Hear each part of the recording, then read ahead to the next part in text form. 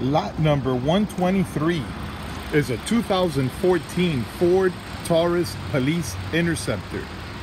This one has a 3.7 liter V6, automatic transmission, AC blows cold, and it's an all-wheel drive model.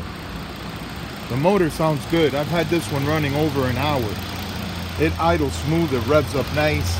The automatic transmission engages, and the AC blows cold.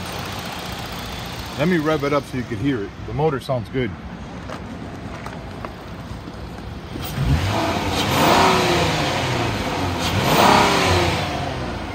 Now this one's very low on gas. So I'm gonna kind of run through the video here. Here are the engine idle hours. It's got 9,560 idle hours. It's got 13,389 engine hours. And there are the miles, 83,860. And the AC is blowing ice cold. And it's a 3.7 liter V6. The body is straight. It's got minor dents and scratches. It shows normal wear and tear. I think I saw a pretty big dent on the driver's side rear door. But other than that, the body is nice. This was a full police unit for the city of Miami Beach. And the doors were white. They've been, they appear to have been painted by roller with a thick coat of black paint. They do that to comply with the Florida no distinctive color scheme law. There you see that big dent on the rear driver's side door. The rest of the body is nice and straight. Here's the trunk and the rear bumper. The trunk has a small dent right there in the center. And the bumper has minor scratches. And there's the passenger side nice and straight. This one does have a hole in the roof from the light bar wire that's been removed. It's got this little spot of rust. And I'll show you the inside. It's getting dark here.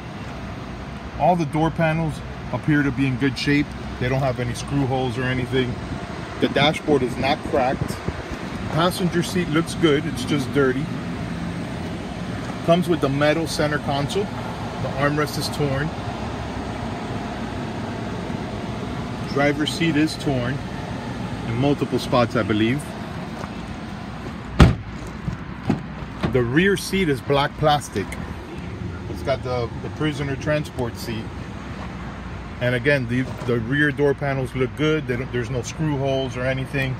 The rubber mat on the floor appears to be stained with white paint. And the headliner has a big cutout. And they, this is where the controls were for the emergency equipment. And maybe hard to see. Let me try this right here. Right there.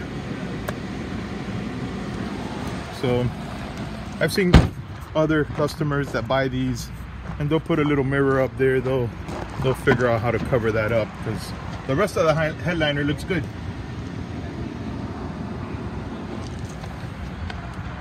Here's the driver's side rear door panel, looks good. And here's the driver's door.